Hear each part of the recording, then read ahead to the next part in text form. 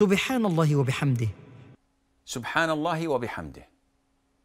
Glory be to Allah and praise be to, to Him.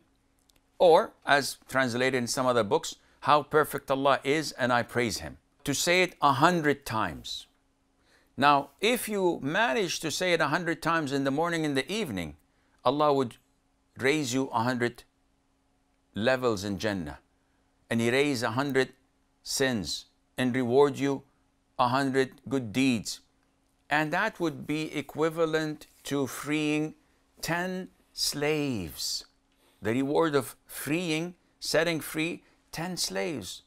Who doesn't want this reward?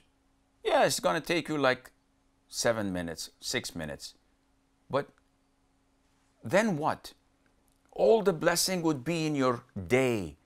All the reward would be restored for you on the day of judgment.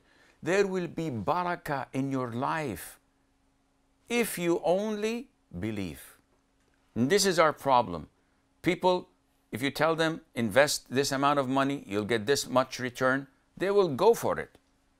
But if you tell them invest few minutes in doing dhikr in the morning and the evenings, um, I'm, I'm, I'm sleepy, I have work to do, I have to study, I have to do this and that. And subhanAllah, the only one laughing is Satan when you follow his instructions and obey his orders. Part of the beautiful du'as that the Prophet taught us alayhi salatu wasalam.